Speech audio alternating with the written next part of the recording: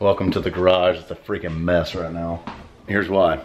Me and dad went, uh, now I'm like looking at it on screen right here. It is a disaster in here. Just junk everywhere. Uh, dad and myself went went hunting with Drury Outdoors down in Texas and I've literally not been home uh, except for when we planted uh, those couple days to go through all of our stuff since we got back. So uh, I'm gonna start in on this, just get everything reorganized. And by the way, if anybody needs any Monster Energy or Tito's, um, we got you covered. And of course, Swiss had to sneak in some White Claws here, so lots to do. I'm gonna start on the garage. Um, if I get bored in here, I'm gonna go in the back and I've got this big log that has uh, fallen in the backyard, so I'm gonna cut it up, or I don't know how it got there, to be honest with you, but it's there, so cut it up. Um, but yeah, just gonna start knocking out some spring cleaning, if you will, that is now quarantine cleaning. Let's do it. I got the buds in, it's music time. Cheers.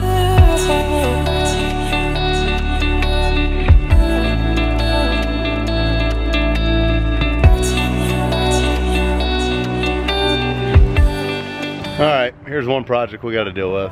Let me explain this one. As you notice, a burnt, knocked over pile of firewood that was stacked. But you'll see telephone poles caught on fire. Is right next to the house. How did that happen? Forgive my, my lack of terms here um, when it comes to electricity and power poles, but apparently there's a ground inside the top of that and it was shorting and arcing and over time finally burnt a hole and then caught fire inside, burnt from the inside out. The top of the pole falls down, igniting this pile of firewood. And then we got a big snake on our hand. I got to wake up to uh, the fire department. This is, gosh, last summer, um, telling me to evacuate because there's power lines and a fire and craziness. But anyways, we're going down here to uh, work on this pile of trash that is washed up in the backyard. Got a big creek that runs back through here, so I don't know how this happened, but lots of spring rains, lots of trash is washed up. It's time to start cutting logs, people. You'll see my pile I've already got started with a little help from my friends. This will be a good bonfire one night. Here's our log, don't like it. Got a couple more big ones down through here. Oh.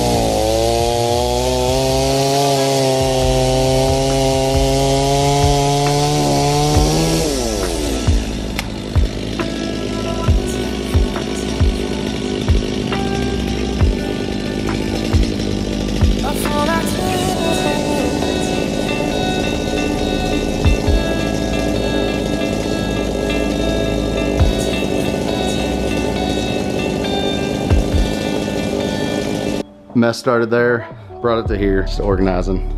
End of season wash time, get all the mud and blood off. And then back in the bags, we got our organized hunting jackets, sweet decals, light, heavy, pants and long sleeves. The list goes on. Progress, people. Quarantine progress. These are dirty from Texas, covered in mud. So we're gonna get them washed up and get them filed away till next deer season and get my turkey gear together. Quarantine progress. It's fun. Much needed to do's around the house. For all you husbands out there, this is the honeydew list, I guess. It's a good one to have.